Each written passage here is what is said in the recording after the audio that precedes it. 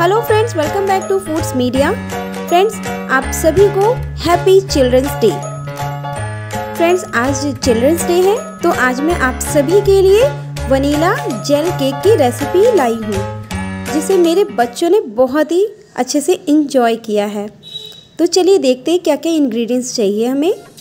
तो मैंने एक बाउल में लिया है दो बड़े चम्मच melted butter one fourth cup दही, एक कप शुगर पाउडर शुगर है नॉर्मल जो चीनी होती है, उसी को मैंने पीस करके ले लिया है। अब मैं इसे अच्छे से मिक्स कर रही हूँ, चीनी को घुलने तक।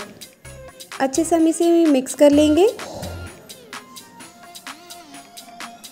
फ्रेंड्स अब मैं इसमें ऐड कर रही हूँ one fourth teaspoon baking soda one teaspoon baking powder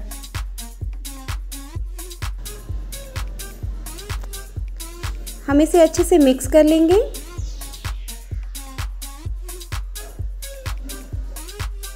ये देखिए, सभी इंग्रेडिएंट्स अच्छे से मिक्स हो गए हैं।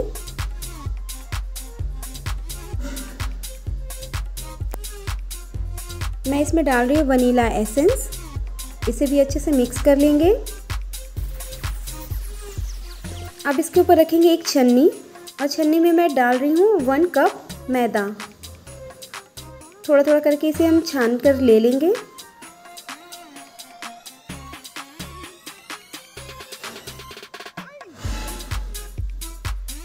अब इसे कट एंड फोल्ड करके अच्छे से मिक्स कर लेंगे। कट एंड फोल्ड करने से फ्रेंड्स इसी में बहुत ही अच्छा सा स्पंजीनेस आएगा।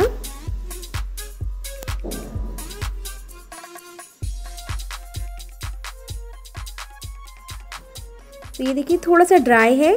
मैं इसमें थोड़ा थोड़ा करके ये मिल्क ऐड कर रही हूँ। मिल्क हमें रूम टेम्परेचर पे ही यूज़ करना है।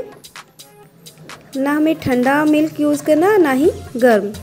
ये देखिए थोड़ा थोड़ा करके ही हम इसमें दूध को ऐड करेंगे। अदरवाइज़ ये थोड़ा सा गीला या फिर जितनी भी रिक्वायरमेंट है, हमें बस उतना ही लेना है। लास्ट में मैं डाल रही हूँ वन टीस्पून सिरका।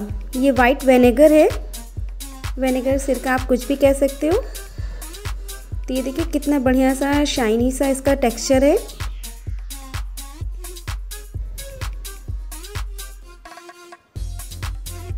चलिए अब इसे मोल्ड में हम ट्रांसफ़र कर देते हैं।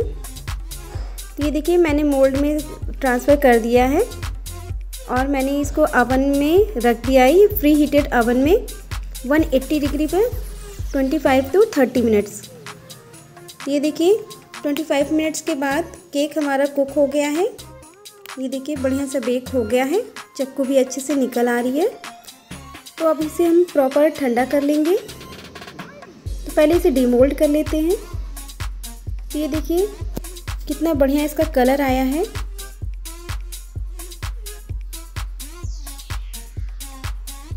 अब हम इसे रख देंगे दो से तीन घंटे के लिए जब तक ये प्रॉपर ठंडा ना हो जाए। जब, तब तक हम इसकी जेल की तैयारी कर लेते हैं।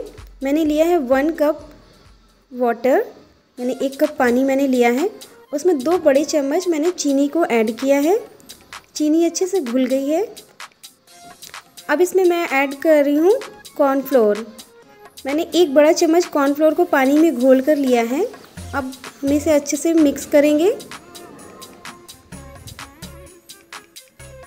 हमें अच्छे से इसे मिक्स करते रहना है। और इसमें मैं डाल रही हूँ एक लेमन जूस जिससे इसका बढ़िया सा खट्टा और मीठा सा टेस्ट हो जाएगा। तो इसी तरह से हम लगातार चलाते हुए हम मिक्स करेंगे। नहीं तो जो हम लोगों ने कॉर्नफ्लोर डाला है, वो थिक हो जाएगा बहुत ज़्यादा और उसमें कहीं कहीं गांठें आ जाएँगी। इसलिए हमें लगातार चलाते हुए करना है कुक। तो ये देखिए, लगभग दो से तीन मिनट के बाद बढ़िया सा इसका कलर आ गया है। तो इसे मैंने एक बाउल में ट्रांसफ़र कर लिया है। अब मैं इसमें ऐड कर रही हूँ रेड फ़ूड कलर अगर आपके पास लिक्विड रेड फ़ूड कलर है तो आप उसे ट्राई कर सकते हैं। तो ये देखिए, मैं यहाँ रेड कलर यूज़ करी हूँ। आप अपने अकॉर्डिंग कोई भी कलर ले सकते हैं। तो ये देखिए, कितना बढ़िया सा शाइनी सा जेल बन गया है। तो ये देखिए, तीन घंटे के बाद मैंने एक टेबल होममेड टेबल ऑर्गेनाइज़ किया है। ये देखिए, मैंने एक भगोला रखा है। उसके ऊपर एक थाली को टर्न करके रख दिया और उसके ऊपर मैंने केक भी रख दिया है। केक को मैं शुगर सिरप से ग्रीस कर रही हूँ, ताकि केक हमारा बढ़िया सा सॉफ्ट रहे। अच्छे से स्प्रेड कर दिया मैंने। अब मैं इसके ऊपर क्रीम को स्प्रेड कर रही हूँ। आप चाहें तो इसे लेयर में कट कर सकते हैं। तो ये देखिए, मैंने चारों तरफ़ से अच्छे से स्प्रेड कर लिया है। इसे मैंने नॉर्मली ऐसे ही स्प्रेड किया है। क्योंकि मैं इसके ऊपर डिज़ाइन दे रही हूँ। तो मैंने यहाँ लिया है स्टार नोज़ल और छोटे छोटे डॉट्स मैं सभी तरफ़ से बना दूँगी। मैं यहाँ प्योर वाइट ही क्रीम यूज़ कर रही हूँ। आप अपने अकॉर्डिंग आप चाहे तो कलर भी यूज़ कर सकते हैं।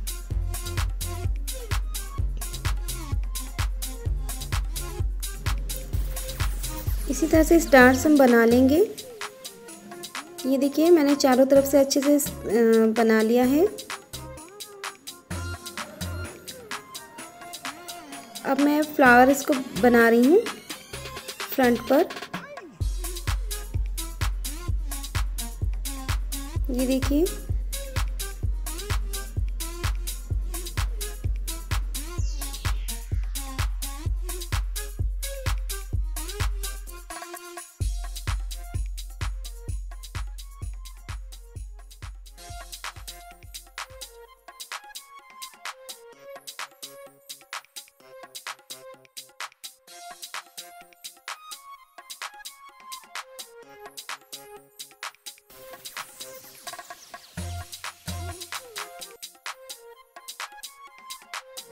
अगर आप कोई और डिज़ाइन बनाना चाहते हैं तो आप अपने अकॉर्डिंग कोई भी डिज़ाइन बना सकते हैं।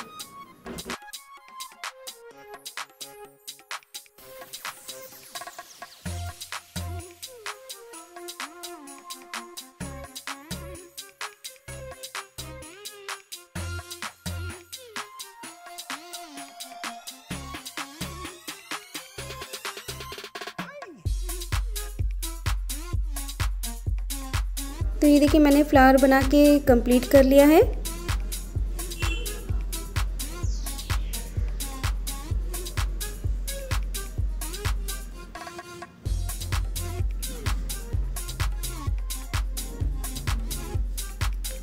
अब हम इसके अंदर जो हम लोगों ने जेल बनाया था, उस जेल को ऐड करेंगे। मैंने एक होममेड पाइपिंग बैग ऐसे ही बनाया है।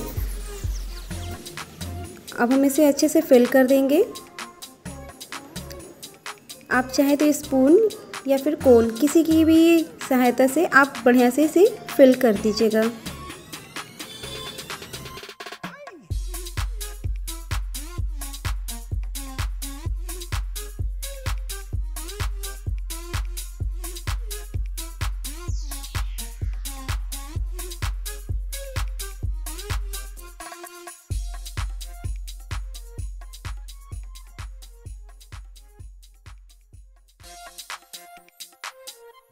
अच्छे से स्प्रेड कर देंगे।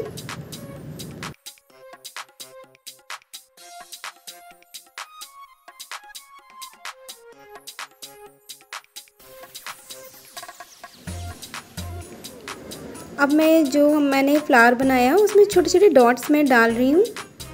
थोड़ा सा इसको अच्छा सा लुक देने के लिए, ये देखिए। अब मैं साइड साइड से भी थोड़ा सा रेड जेल को डाल रही हूँ ताकि बढ़िया सा मार्केट जैसा लुक आ जाए थोड़ा। ये देखिए, कुछ इस तरह से।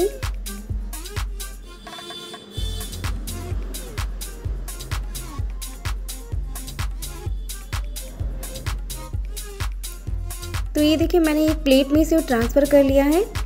ये अभी से ही कितना प्यारा लग रहा है। लेकिन थोड़ी सी डेकोरेशन मैं इसमें और करूँगी। तो ये देखिए, मैंने एक पाइपिंग बैग तैयार किया था, उससे वाइट क्रीम से मैंने हैप्पी चिल्ड्रंस लिख दिया है। सो so फ्रेंड्स मैंने चिल्ड्रंस डे पे तो अपने बच्चों के लिए ये केक प्रिपेयर कर लिया है। तो आप भी अपने बच्चे के लिए कब ये केक प्रिपेयर कर रहे हैं प्लीज़ कमेंट सेक्शन में ज़रूर बताइएगा। सो so फ्रेंड्स मेरे बच्चों ने तो ये केक को एंजॉय कर लिया है। सो so फ्रेंड्स अगली बार फिर मिलूँगी किसी नई रेसिपी के साथ।